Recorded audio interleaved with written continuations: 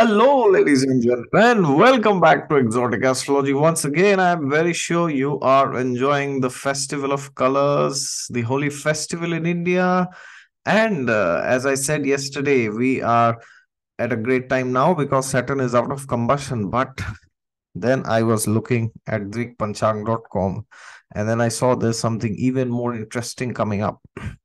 So on 12th of March this year, today is 8th uh, we have the planet of love, romance, beauty, and um, vehicles, which is Venus, is entering the sign of Aries, Mesh Rashi, and he will enter Vrishabha, Taurus on 6th of April. So from 12th March to 6th of April, mm-hmm, quite an intense time. Uh, this is the time when Venus will be in Aries. But what's so special about Aries? There's Rahu there. now, what happens when Rahu is somewhere and irrespective of where he is, somebody comes and joins him? What happens? Okay. So to understand this, you have to understand how Rahu Ketu behaves and you have to understand some fundamentals of astrology, which means you have to understand what what does it mean to have a conjunction in your birth chart or during a transit. So if you talk of conjunctions, it means two planets are together in a zodiac sign. Okay. It depends on the degree also, but for simplicity, a conjunction is like two planets coming in one particular house. Okay. Not literally house, but a zodiac sign. There are some differences between the two, but for simplicity, you think two planets have come to one house. Now, what happens? Exactly what happens is every planet tries to influence the other planet. So imagine there are two people in the house. So one person, suppose, um, has a political ideology of uh, capitalism, okay, or right wing or whatever you say, and then the other person is a leftist oriented person and believes in communism or whatever, and then they will try to influence each other. So now during this, uh, when they try to influence each other, then what can happen? Either both of them can be convinced that one ideology is correct and we both should agree to that or both of them uh, they say oh no no no no. What i am saying is right. What you are saying is wrong. And that is why we both do not talk to each other. So the relationship is destroyed.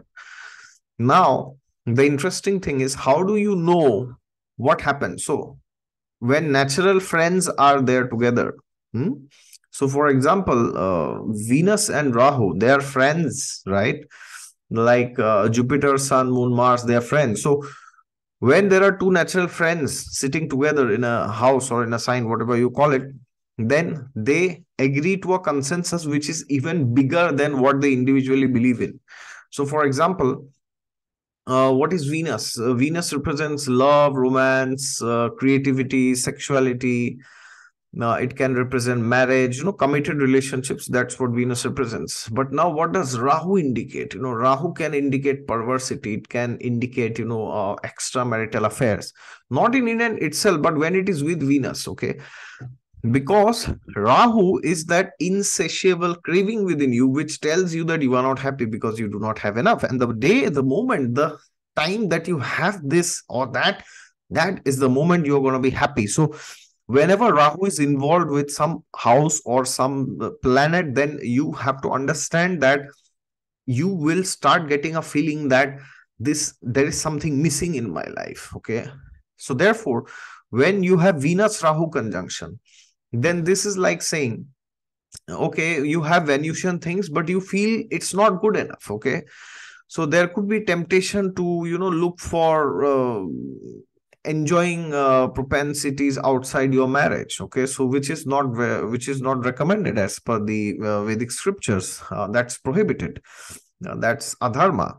So therefore uh, this is one example you know it, it can be referring to a thousand other things you know? For example uh, venus also represents beauty okay? Venus can represent natural beauty with some level of sophistication. Venus by default is some sophistication okay but venus rahu can represent some uh, something which is very it's nonsensical. It's something very unnatural you know like somebody who is uh, good enough but then to gain more followers or you know uh, gain more fans or get, get more money they are uh, indulging into things like you know plastic surgery and they're you know damaging their body you know. So it's like denying the the karma that uh, god has given you i mean which you have actually given yourself by the sanction of god uh, denying the destiny. So then what do you do is you go into all this you know uh, you you destroy your skin you look very unnatural. Have you seen people who are doing you know cosmetic surgeries and all this you know i mean not a very great thing to have right no, of course uh, if there is some damage or there is an accident then that's a separate situation. But in general rahu can represent extremes you know extremes of anything extreme of venus okay? So therefore when it comes to beauty then also it can be extreme okay? So sensual enjoyment also it can be extreme. It's like uh, indulging uh, with many pop, uh, many people many uh, partners of the opposite sex without any restriction. That that is uh, animalistic basically. So therefore when venus rahu comes you have to understand that there can be a tendency or there can be um, an anxiety inside me so when Rahu is involved, there are actually two things. Rahu, some people say it gives you depression, some say it gives you anxiety. But what I have seen is it gives you both. So, what Rahu does is first he gives you depression. He says, Oh, look, this thing is not good enough in my life. Then what he says is, Oh, but look, that person has that, right? So then he gives you anxiety. So one is depression and the other one is anxiety. Okay. And Lord Krishna says about this in the Bhagavad Gita very beautifully, right? He says, Brahma Bhuta Prasannatma na sochati na kangshati sama sarveshu bhuteshu mad bhaktim lavate param. He says this. He says that one who does not hanker or lament. So lamentation is uh, basically depression. Okay, this is this this is depression. You are you are you are lamenting. Oh, I didn't have this. I didn't have that. And then there is hankering. Oh, I wish I can have this. I will have this one one day, right? So then, then what happens is one who is dangling between both of these, they cannot be happy. Sama sarveshu bhuteshu mad bhaktim lavate pram. So one who is a sthita pragya is not affected by hankering and lamentation. Okay.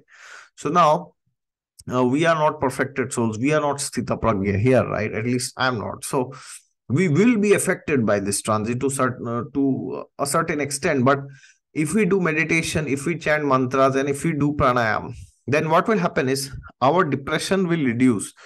Uh, we should maintain a gratitude journal whenever Rahu and uh, certain planet is conjunct Rahu in transit. We should maintain a gratitude journal. Okay.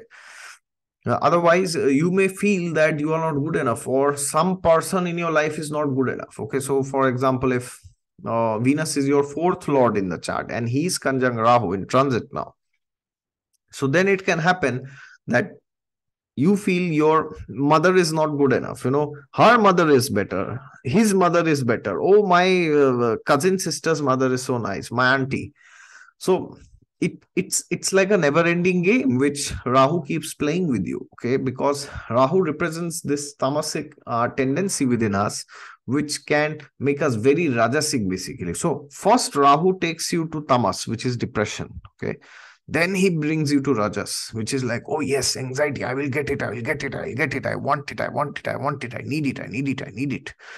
So whenever you are in Rahu, all the all your uh, wants seem like needs actually, right? So whenever you are in Rahu Dasha or whenever Rahu is conjunct with any planet, whenever you uh, feel that you need something you will have to ask yourself do i actually need it or is this something that i actually want to? Right? It, it may not be something that you actually need. So uh, therefore if venus is your seventh lord then uh, maintain a gratitude journal towards your spouse uh, towards your mm, husband or wife and think of all the good things that they have done for you. Think of all the sacrifices that they've done for you and if uh, venus is your uh, lagna lord then you have to be uh, you you have to learn to see all the good things that you have in life for every area because the lagna can show a bit of everything in life okay?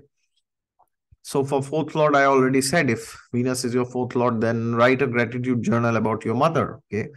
That will help you to understand how many sacrifices your mother uh, father have done for you. So if venus is your ninth lord then your father okay uh, but Venus will rule two houses, right, for every ascendant. So therefore, there will be more than one person. Okay. So therefore, you have to check what Venus is doing in the chart.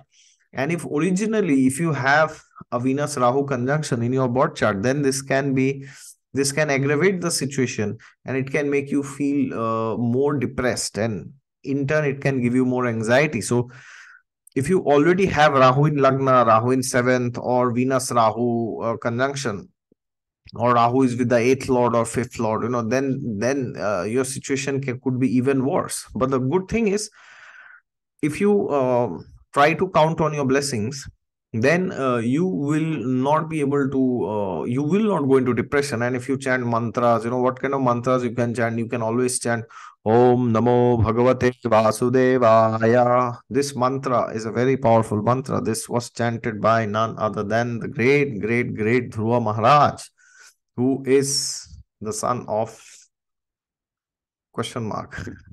Who can write? In the comments please who is the father of dhruva maharaj? Uh, nonetheless. so Dhruva Maharaj was instructed by the great sage Narad Muni as the Srimad Bhagavatam says that my dear Dhruva Maharaj, please chant this mantra and within six months you he saw Lord Narayan himself, Lord Vishnu, Lord Hari appeared and blessed him. And what did he bless him with? Can somebody still write it down in the comments? I would love to see it. So therefore, uh, if you uh, feel that you know uh, you are getting too depressed you are thinking too much about uh, what you don't have in life even if you have you are still thinking of other options in life then you really need to chant this mantra so please chant this mantra and this is a very powerful mantra for the fourth house this will help you to uh, count on your blessings in life and if you even after doing this if you're still getting depressed oh my god life is so terrible i am not able to digest things in life then you can chant Om Namo Narayana. This, this mantra will actually help you to cleanse all the poison in the heart. This is the mantra for the eighth house. Very, very, very important. All your fears, negativity, um, depression, all anxiety, everything will just vanish if you chant this mantra. So uh, till 6th of April, if I am correct, yes, Drik Panchang says 6th of April, you we must chant these two mantras. 108 times the first mantra, then 108 times the second mantra. If you have beads, I, I wish I could have shown you. So if you have beads in a mala, you can chant, okay? That is the best way to chant mantra. So therefore, if you are feeling that you are getting overwhelmed and nothing seems to go right in your life, then just chant these two mantras and you will pass it. Trust me, you will. and if even after that you are not feeling that you will be able to pass it well then sunday is around the corner please go and join some spiritual community that will help you okay and on the positive side uh, you can see this conjunction as an empowering conjunction to learn something new to do something new in life. Why do i say this? Because this is in the sign of aries okay? So if you have certain plans you know anything related to venus you know you want to look good you want to become more fit you know then uh, you can hit the gym start doing yoga aerobic exercises or weightlifting or whatever. And uh, by that you can come in shape and you might look good or if you want to start something creative then this is an excellent time you know your creativity will be enhanced it will increase and you will be able to uh, be creative in such a way that you could have never imagined okay? And also of course if you are planning to uh, take some trip with your spouse and spend some nice time uh, away from the hustle and bustle and all the side hustles and your job then also this is an excellent time great time to go on vacation uh, great time to have good relationship with your uh, family also because venus can to some extent represent your family also not just your spouse. Great time to have nice food and a great time to have good drinks but not alcoholic drinks. so therefore uh, this is a good period for uh, materialistic enjoyment. So enjoy uh, but within the limits as i said uh, in my video yesterday so be within the limits enjoy uh, and there's nothing wrong uh, in using this period this period to be more creative and to enjoy and to learn new things about venus. That's perfectly fine. You want to start a restaurant go ahead um, you want to start some home uh, delivery service or anything like that. Perfectly fine. Just do it. Okay? Any good quality of venus that you want to enhance in your life just do it. Okay? Absolutely nothing wrong with it. But uh, because rahu is a tamasic planet and the sign of aries uh, also has a lot of tamas in it. So the most likely this energy will uh, take you towards more of tamas and rajas rather than you know uh, positivity. So if you are having plans positively execute it nothing wrong with it but if you're feeling that it's too bad for me i'm not able to handle it then then just chant these two mantras and you will be fine okay thank you very much for your patience if you like this video hit the thumbs up and share it with somebody who is already feeling overwhelmed and if you are new to the channel then please subscribe to down below and if you want a consultation my website is right down there in the description section. Thank you very much. God is there with you all the time, and you will see Him in Holi or on any other day also. Thank you very much.